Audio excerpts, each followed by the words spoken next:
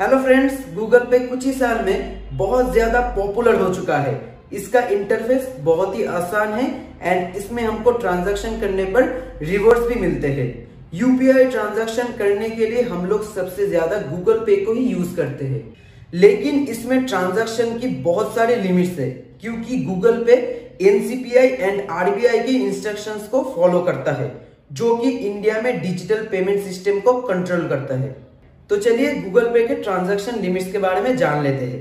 Google पे में आप एक दिन में वन लाख रुपीज़ तक सेंड कर सकते हैं। इसमें आप एक दिन में मैक्सिमम 10 ट्रांजैक्शन ही कर सकते हैं। एंड आप गूगल पे में किसी को अगर रिक्वेस्ट करते हैं पैसे के लिए तो आप टू थाउज़ेंड रुपीज़ से ज़्यादा रिक्वेस्ट नहीं कर सकते हैं।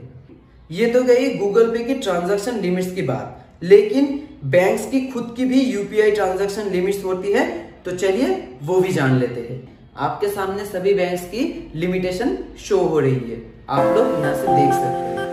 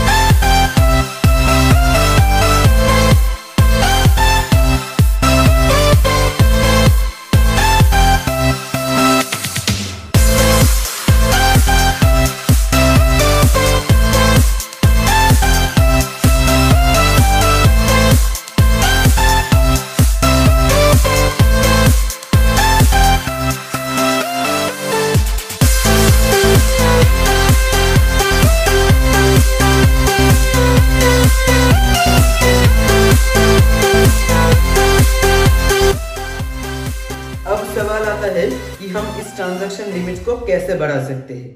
देखिए, वैसे इस लिमिटेशन को कोई भी बढ़ा नहीं सकता है ऐसे ही। लेकिन आप अगर बिज़नेस करते हैं और आपका बिज़नेस यूपीआई ट्रांजैक्शन के ऊपर बहुत ही ज़्यादा डिपेंड करता है, तब आप एक स्ट्रॉन्ग रीजन के साथ उनके ऑफिशियल मेल आईडी पे मेल कर सकते हैं। तो फ्रेंड्स आज का वीडियो यहीं तक था। आप लोगों को अगर मेरा वीडियो अच्छा लगा है तो लाइक कर दीजिए, अपने दोस्तों का शेयर कर दीजिए। और हाँ मेरे चैनल में नए आए हो तो ज़रूर से सब्सक्राइब कीजिए, क्योंकि मैं इस तरह के और भी नए वीडियोस लाता रहूँगा। चलिए, आप लोगों के साथ मैं मिलता हूँ अगले वीडियो में। तब तक के लिए नमस्ते।